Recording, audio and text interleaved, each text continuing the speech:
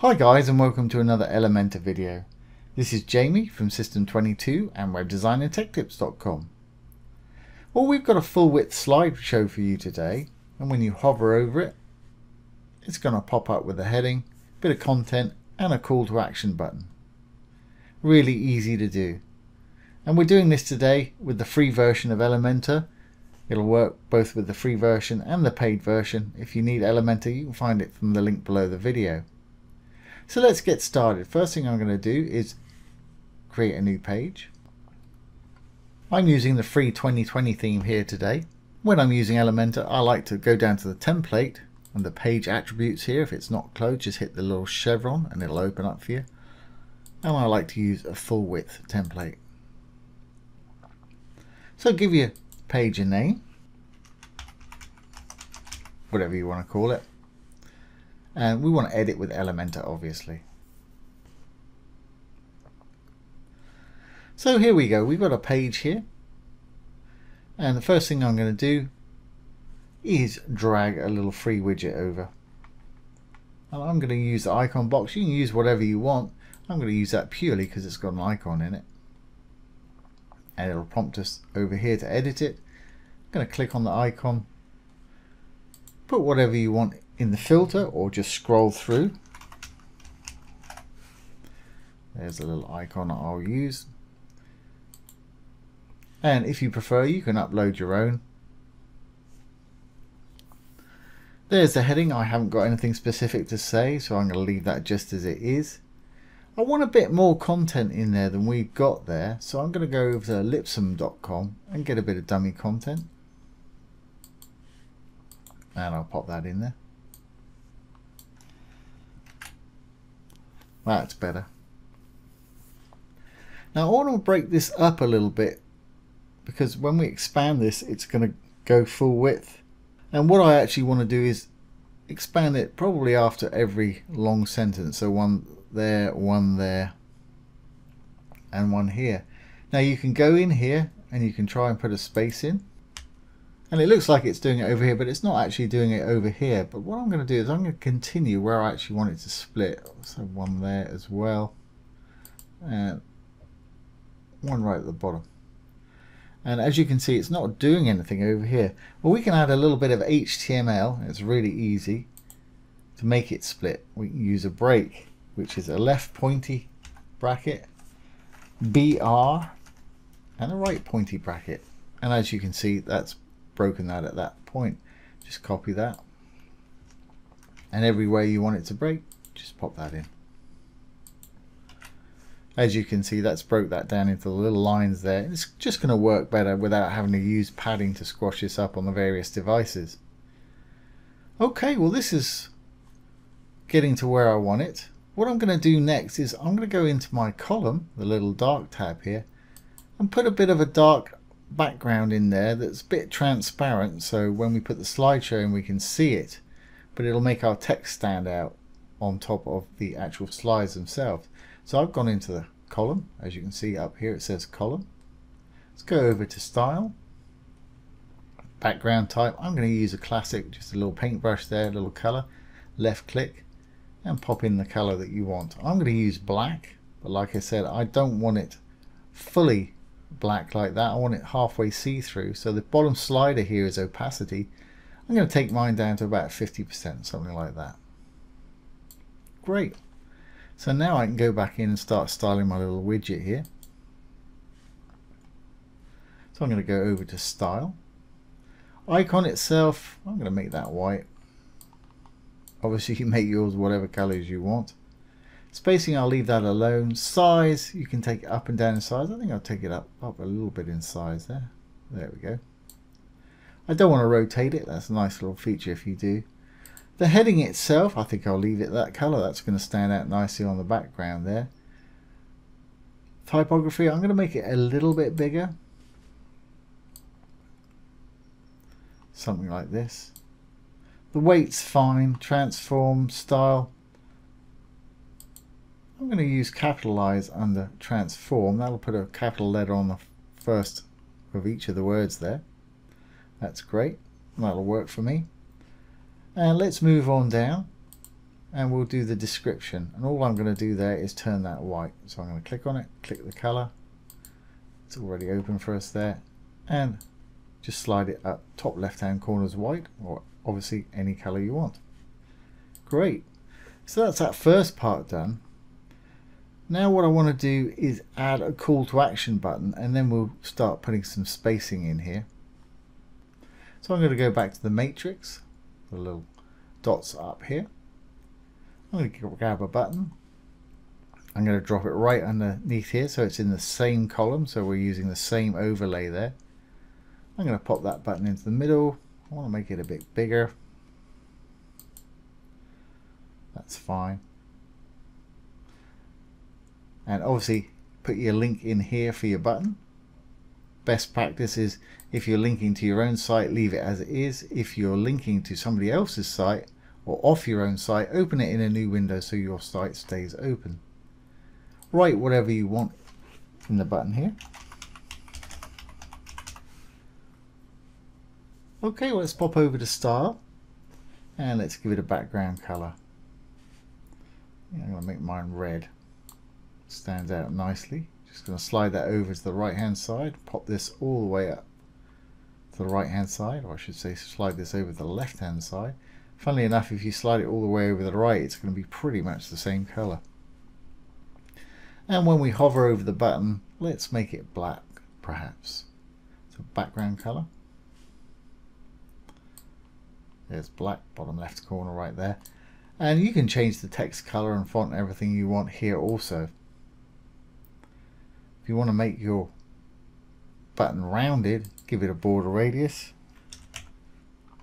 50 pix makes it sort of pill shape. Or you can do slight borders by putting sort of 15 in make it slightly rounded like that. I'm happy to have mine as it was though so I'm going to delete this. And common to most Elementor edits if you delete anything in there it'll just return to the default for you Oh, alright well let's leave that as it is for the moment I want to add a bit of padding to the top of here and to the bottom of here so if we go to our advanced tab now, that's where we always find the padding. I'm going to uncheck the chain because I just want to add some to the bottom. If you keep the chain checked like that one up there, it'll do all four at once for you. And I'm going to add, let's say 60 pixels to the bottom. That works. Now let's pop back into our top module here, or top widget, little blue tag for the widget. And I'm going to do similar but just to the top of this. Again I'm going to uncheck the chain. I think I'll actually put 30 pixels left and right because that'll help on responsive devices or even 20 it probably do. So let's go ahead and do that. I'll put 20 on right and left. And I'll show you why in just a little while Okay, well, we've got pretty much everything we want there in our rows. We've got our little call to action, we've got our heading, and we've got our icon right there. You can adjust spacing and line height and everything like that if you want to within this module, but I'm happy with it just the way it is. Okay, well let's make it full width and let's make it buffer up against the top and the bottom of the section. So let's go to the column itself, a little dark tab right here, make sure there's no padding in there. And again we'll find the padding under the advanced tab. Just put a zero in there. I'm leaving that chain link, and as you can see it does all four at once. That takes any padding that that surrounds that column right there away. That's great. Now we can go into our section the blue tab at the top here. And I want my content to be full width so I'm just going to flip this from boxed full width as you can see that's now full width but we've got a lot of padding on the top and the bottom and I just don't want that there. I want this buffered up against top and bottom like I said. So again, we'll go over to our advanced and find padding and margins. And again, I'll leave the chain linked. I'm just going to put a zero in there. Bingo, there we've got it. And this is where we're going to put our slideshow in our actual section here. So if we go over to style, We'll find background right at the top. If it's closed up, just hit the little chevron, a little triangle there. Background type, you've got classic, which is a color or image. You've got gradient, got video, and you've got slideshow and I'm going to use a slideshow this time. Just click on the little plus icon to add your slides. And if you hold your control key down, you can select multiple slides. Put in however many you want. You can reorganize them simply by dragging and dropping where you want them here. Put in a caption if you want to. I'm going to leave mine just pretty much like that. When you're happy, hit the insert into gallery button. And as you can see, there it is behind. And the little overlay that we've got going on there is making our text stand out, the overlay that we put in the actual column itself. Okay, here's the actual slideshow controls. I want it to infinitely loop, go round and round and round, that's fine. Duration's fine, it's going to change every five seconds. I'm happy for it to fade. You can slide right, slide left, slide up, slide down if you prefer. Transition duration, I'm going to slow that down slightly I'm going to make mine say 850. That's the time it takes to fade from one to the other. And we're in pretty good shape there. Okay. Let's write some custom CSS and make this disappear now until we hover over it. Because I mean, if you want it just like that, save this and you're good to go. Because if we look at it now,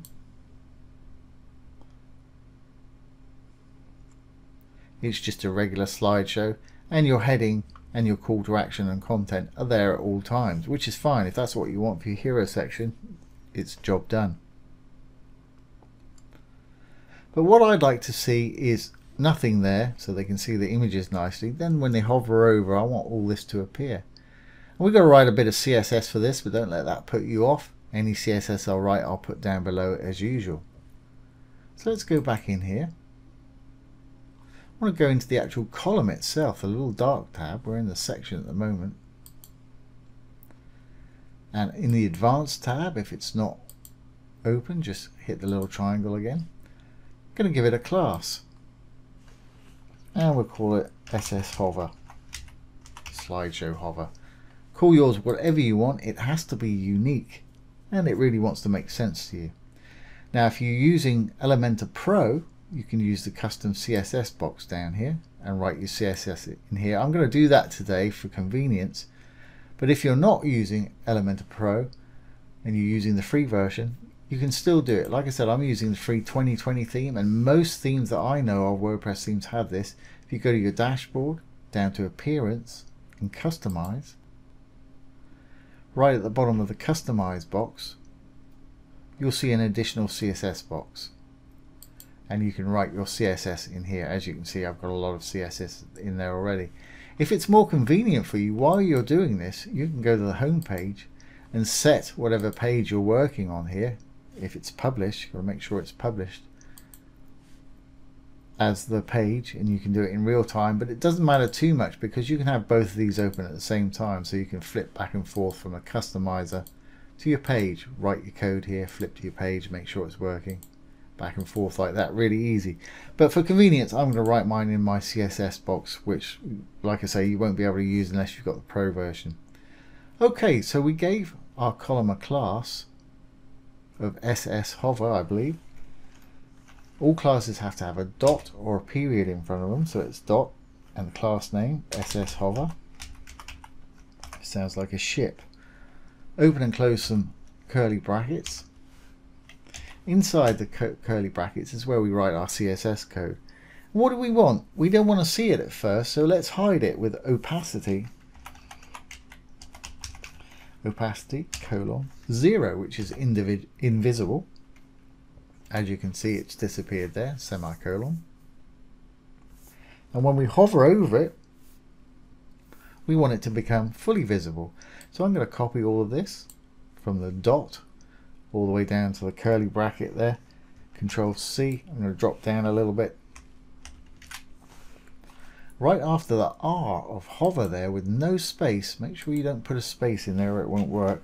Put a colon and the word hover. And what this is doing, it's telling it, telling our column here or anything that's got the class of SS hover that when we hover over it we want it to do something which is the bit of code in here So we want it to bring it back, which is opacity 1. So when I hover over now, you can see that pops back in. But it's happening really quickly, and I like it to happen a little more gracefully than that. So we can achieve that with a bit of transition duration, and we put that in the regular state, not the hover state. I'll say transition. As soon as I put that in, it'll prompt us, and there's transition duration right there. I'm going to say 1.2 seconds. Put in whatever you want, 0.5 seconds, however you want. Semicolon. Always put a semicolon after your last bit of code, because if you forget to do that, it won't read the next bit. And this particular one, it don't matter because that's the last one, but it's a good practice to get into. So now, that's a lot more gradual. So we should be good to go. Now, what I was telling you earlier about putting a bit of padding left and right, if we look at this, we're on a desktop view. If we look at it on a tablet view, had I not put the padding in left and right there, it would be buffered right up against the sides. And the same for the mobile view. That seems to work fine on both. And if anybody's wondering why mine's disappearing up under my header there, I've got a custom header going on that's sticky so it stays there all the time. Okay, well let's see what we've got here. We'll publish and we'll have a look. So there it is, we've got a little slideshow, it should change every five seconds. Then when we hover over it, it should take 1.2 seconds to bring in our content. And there it is, we've got a nice heading, an icon, and a call to action to take people wherever it is you want to take them. Like I say, really easy to do, a little bit of CSS coding there, but nothing too heavy duty, and it will be below this video. You're welcome to use it if you want to. And for those of you that were using the free version of Elementor, you can do all this with that, apart from this little bit right here. And all I would say is instead of writing it in here because you can't just write it in here. And it's a good idea to always give your CSS a custom header forward slash star star forward slash. And you can write your header in between there or any notes you might want to put in because this will not be read as code. So we call it slider header or slider hover whatever. Whatever makes sense to you. And it's a courtesy for anybody that may come behind you in edit or if you write a lot of CSS like I do it just makes things easier to find and you would have written your code in here just like that. And I'll put this code below the video. I'm going to delete it from here because I don't need it in two places. And once you've written it in here make sure you hit the publish and you're good to go.